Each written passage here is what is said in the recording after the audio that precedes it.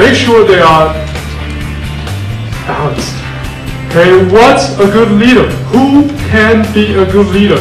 Many students uh, give me a blank look, shrug their shoulders. I don't know. My mom wanted me to. you need to have passion.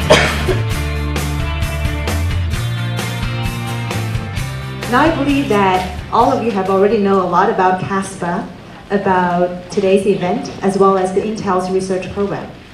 Um, and I also believe that a lot of you are expecting our first keynote speech for a while. Now, um, it is my great honor to introduce our first speaker, the CEO and co-founder of Ivy Max School, Mr. Shane Wei. Honestly, I don't know where to start introducing him because there is so much to say. I will just tell you a story, a true story that really touched me. Several decades ago, a student, an international student from the mainland of China, came to the Bay Area to study. As the most outstanding student in high school, he applied for all the Ivy League school at that point. But he was turned down by most of them. Why? Not because he was not excellent enough, but because he was an international student. Most schools talked to him, saying that you are really great, but we cannot admit you because we don't know whether you could financially support yourself. That's why he was turned down. Finally, he was really frustrated, and he made a last shot when the University of Pennsylvania admission director came to the Bay Area for a seminar. So after the seminar, he talked to the admission director for half an hour. That half an hour changed his whole life. University of Pennsylvania admitted this exceptional student and provided all financial support. And that student is our speaker today, Mr. Wei. I believe that you could look, look at his bio yourself. So I also believe that this is kind of the inspiration that inspired him to open Ivy Max School several decades later. As the CEO of the school, Mr. Wei is responsible for setting the overall direction and product strategy for Macs. His industry experience includes 24 years in advanced software design, 15 years as a senior executive, and a decade of college counseling expert.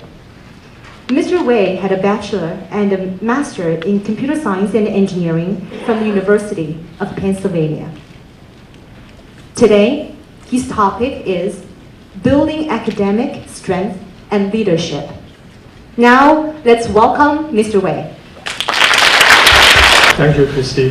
And uh, thank you, CASPA and uh, the Bay Area parents and students for sharing your Sunday afternoon with me here and with other experts who can perhaps lend some help in your relentless pursuit of getting the children really to the upper echelons of society. Uh, I, I, know Ivy is, is in the business of preparing many of our Bay Area students and students across uh, the nation, in fact, in, from many parts of the United States and, and now from other parts of the globe as well, uh, to give them the opportunity to go to the best schools in the U.S. at, at all levels, uh, high schools, college, and graduate schools.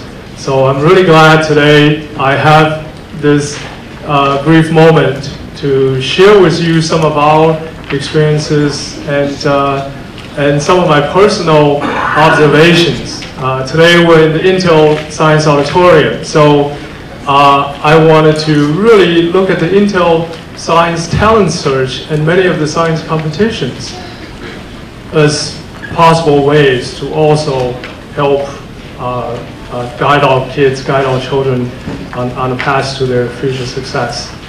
We've already seen from some of the earlier slides and uh, one of the early speakers' introduction what Intel Science Competition is all, all, about, the STS or Intel Science Talent Search is all about. Uh, what I have today probably show some of the other things, interesting numbers and facts about the competition and about its winners. And from that, we can look at uh, the connection between winning these kinds of scientific competition honors and, uh, and you know, some, something else that parents are also interested in Ivy League admissions. And, uh, and perhaps there, there are a few lessons we can take away from all this. Okay? So I'm going to look at the Intel Science Talent Search from kind of the Ivy Max angle or from uh, the educational angle. All right. What are some of the latest statistics? We saw some from earlier slides, but I have even more numbers to, to share, okay? This year, there were 1,712 entries in the competition. And out of that group, 190 high school seniors became, uh, or, or 190 high schools were represented, uh, and even one overseas American school. Uh, of course, every year we have 300 finalists. So based on these years' uh, entries, we know about 17% of them were selected as finalists, uh, semi-finalists. And again, 40 finalists, that's 2.35%. Do you guys know what Harvard and Stanford admission rates were this year from 2013? Anybody? I think Ivy Max have, have some special small awards for, from, uh, from my questions during the spe speech. So anybody who has right answers, uh, ra raise your hand. Do you guys know what Harvard's and Stanford's admission rates were roughly?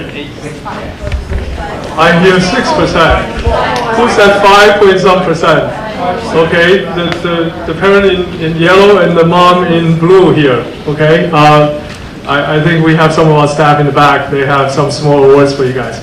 That's right. Harvard and Stanford and Princeton, all three universities' admission rates from 2013 were actually lower than 6% for the first time in their school's history.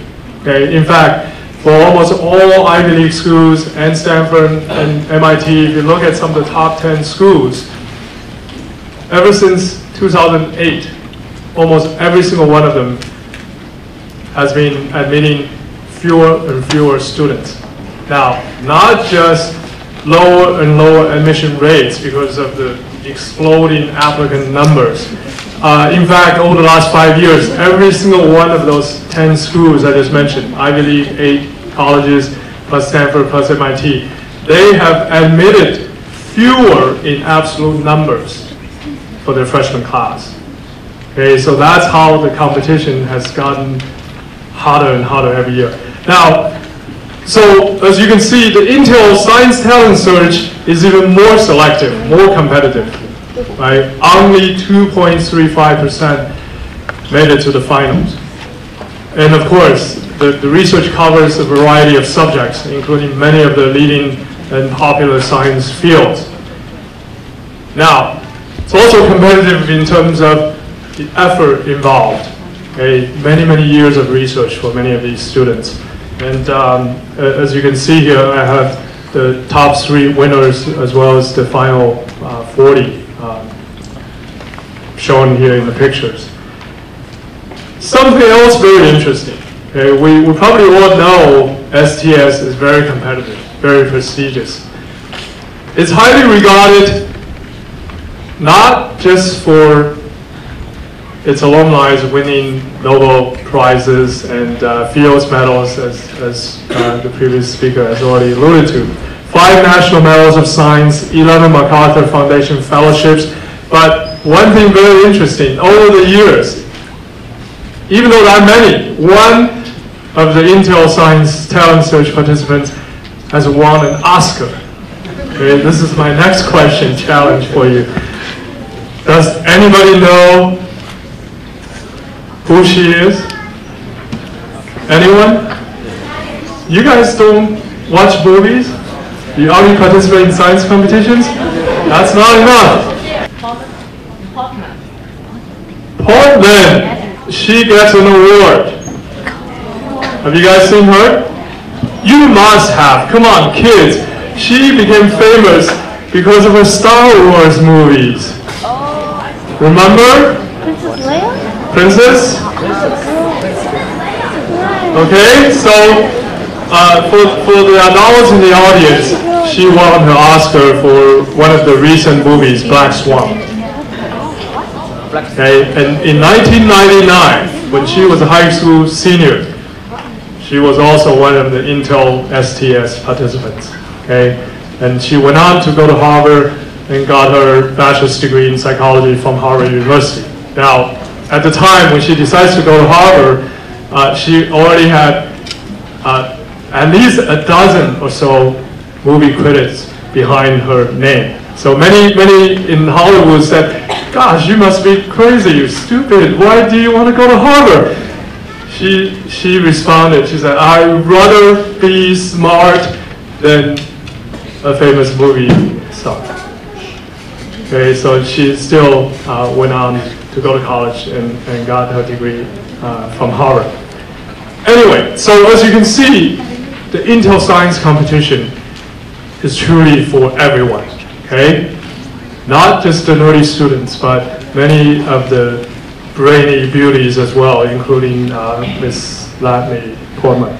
All right. Um, there are many other things that are interesting and uh, to be noted. One, uh, Intel CEO actually once said, and, and I think I should really point this out. I don't know if it, oh, it works. See, he says those winners are usually or typically students with parents who are very involved. Okay, so this is a this is a warning. I, I I'm so glad today to see in the audience many parents with kids uh, in elementary schools. I, I, see I see quite a few uh, six, seven year olds, seven, eight year olds, uh, kids in elementary schools get an early start. Okay, uh, parents, you need to be involved. You need to provide guidance. You need to provide directions. In many cases, uh, you don't do the work for your kids, but you do need to get involved. Okay, and it's a, it, and it's a tremendous amount of fun to be involved doing these projects with your children. Okay, um, and according to many of the surveys among the winners, many of the research projects have involved years of research. In fact, uh, for many of them, more than a thousand hours of collective time uh, doing very serious scientific research work in the lab. Okay, so it's not uh, an easy task for sure.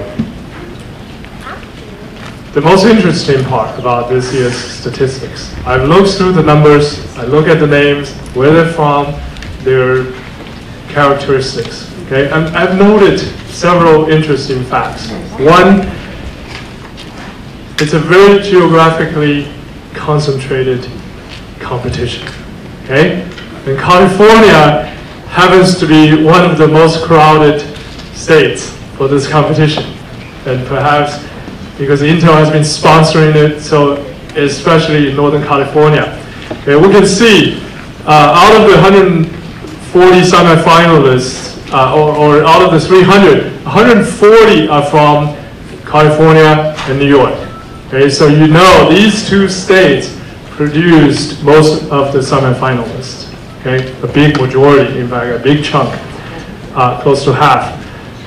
And 12 of the finalists, of the final 40, are also from these two states. Okay, and that's pretty much true almost for the last decade. New York traditionally has been one of the largest states uh, sending winners to these competitions.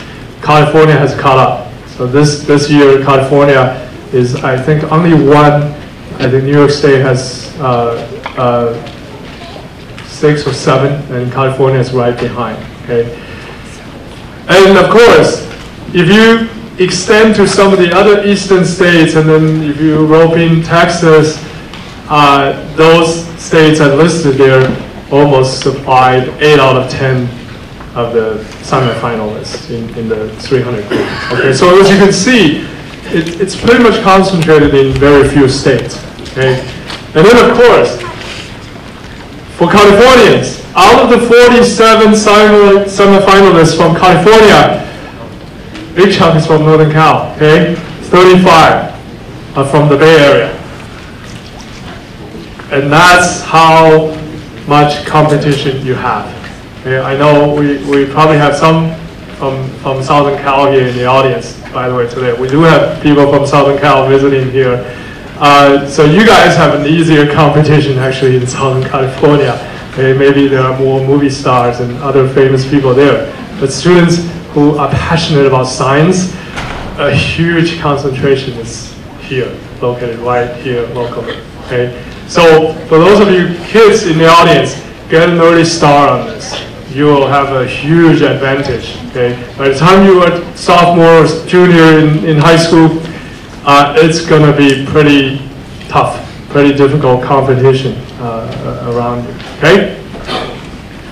So, not just geographically, school wise, among the 300 semifinalists, only 23 high schools uh, produce three or more winners. Okay, now, my next question to the audience. Which Bay Area high school produced the most semifinalists?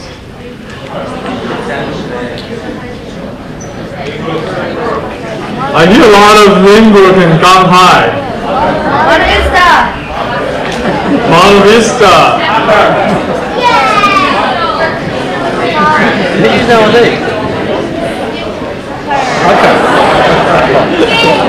Okay, Harker had six this year.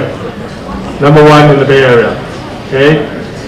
What's the next school? I know many people know Harker because Harker is a perennial school producing a lot of Intel semifinalists and finalists even. I bet there, there's probably not one person in the audience besides Ivy Max staff because I think they have already seen my slides before.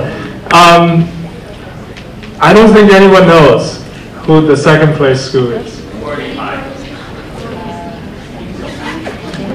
I still hear a lot of suspects, but gosh, I'm surprised. Parents do pay attention to these numbers. It's Dougherty Valley High School in San Ramon. The school is only four or five years old. Okay, they have five members this year. Okay, a brand new school. They just recently had four four years of class in the high school. In fact, I think the school is only what four or five years old. For for those of for those parents who, who know about the school, it's in San Ramon in one of the new housing developments because there, there's a huge concentration of South Bay engineers and professionals families moving into that area.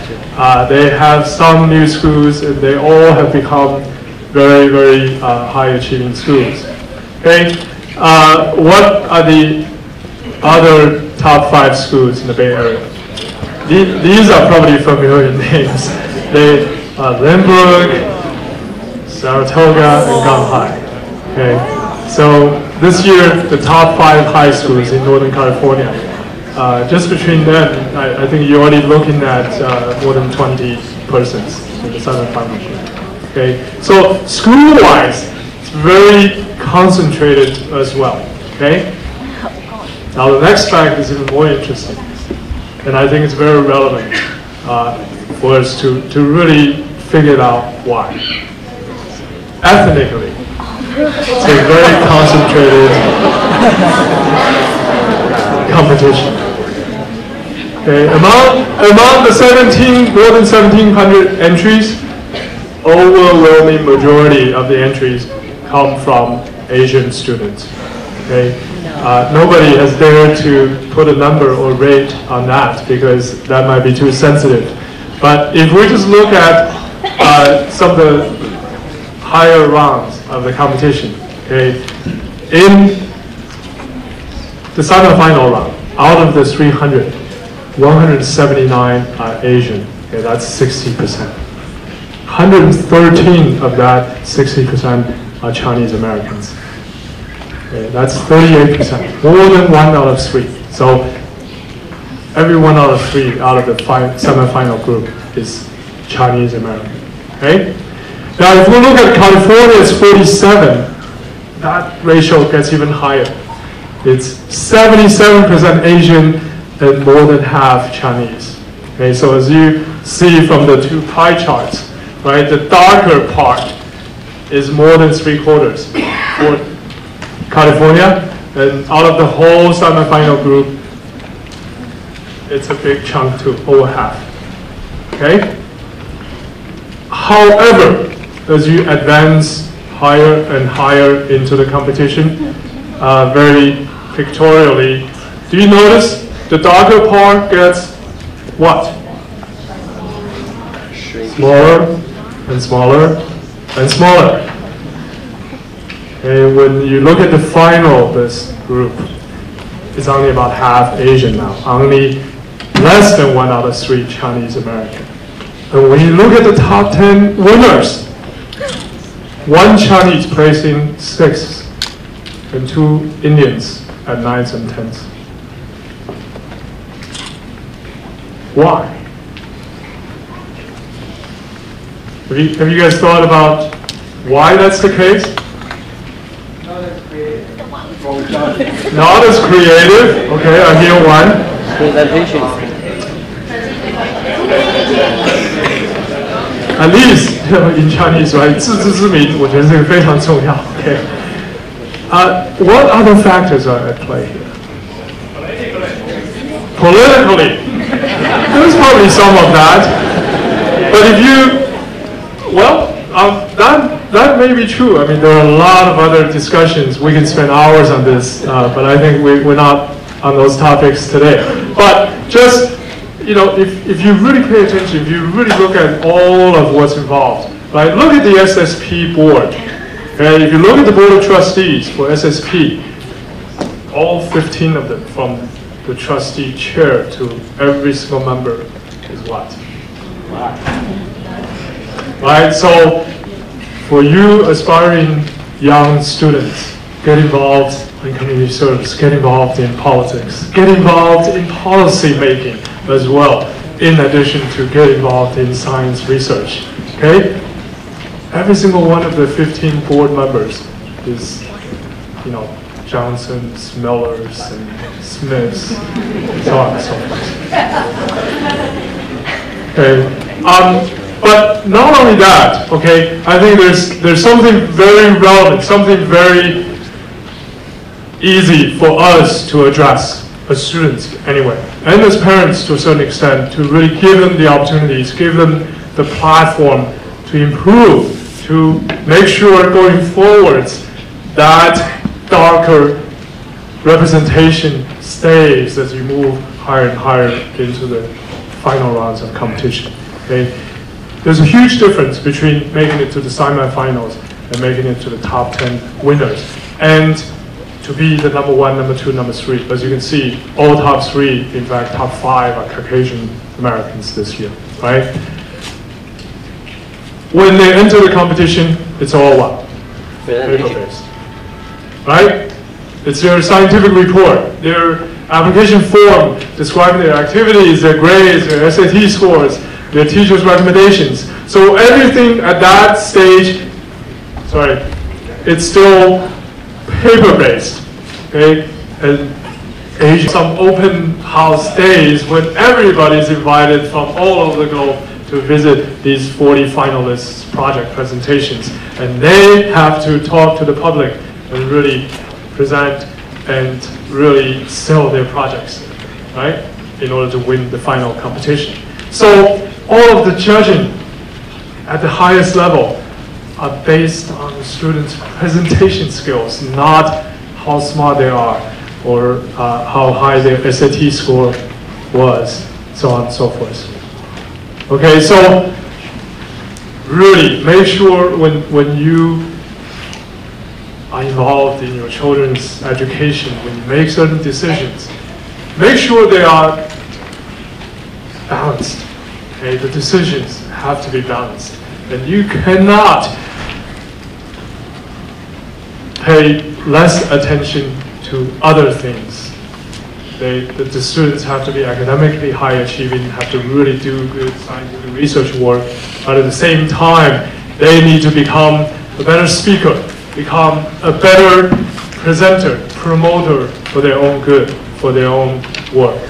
Okay, so that that's some really important message to take away today. If you haven't remembered anything else, make sure throughout high school your students are involved in other activities and really are well versed in presenting themselves in, in you know, if I may use the word, selling themselves. Because many of our children don't do that well enough, and in the end, they suffer. Not because they're not good, not because they're not smart enough, but because they cannot present themselves uh, the best way they could. Okay? So really pay attention to that. Now, how, how to pick the appropriate research topic is also very crucial. I've highlighted uh, a few high-level points here. Obviously, anything trivial, anything easy would not cut it. Okay, for science competitions like Intel STS, you have to pick something that's very advanced. Now, of course, to be successful, you need to make sure the topic is also interesting and it's not something that, that will really challenge you uh, individually. Okay, Intel STS is an individual-based competition, so you better make sure any topic you pick, as, as the second bullet point show, has to be something that somewhat original and um, not have covered by others. Okay, every year there are many categories in the competition. Some categories are very crowded. Okay, if there are many student entries in that category, what does that mean to your chance of success? You have a lower rate of success, right? So make sure when you evaluate a topic, pick the appropriate one so that you have a better chance to succeed in the end. Okay? But when you decide on that topic, don't pick something too broad or too open-ended. If it's too open-ended, you probably we're not going to be able to finish your project and really have tangible and, and substantial results to show in your final report. And if it's too broad, you're not going to have enough time in your junior year and senior year uh, to even do the adequate amount of work to, to be able to achieve something. Okay? You, you know that you're going to have to spend a lot of time learning background information, research about background information. So it's a very involved, very challenging task. Don't pick something that's too big or too broad, okay? All right. That's that said, there is a camp I have to put in the plug at UC Berkeley this summer. It's specifically designed to help seventh graders, eighth graders, freshmen, and sophomore in high school to really look at all these science camps, science research camps for the summer, and how to be best prepared, how to uh, raise your writing skills, specifically for applying to these top-tier research science camps.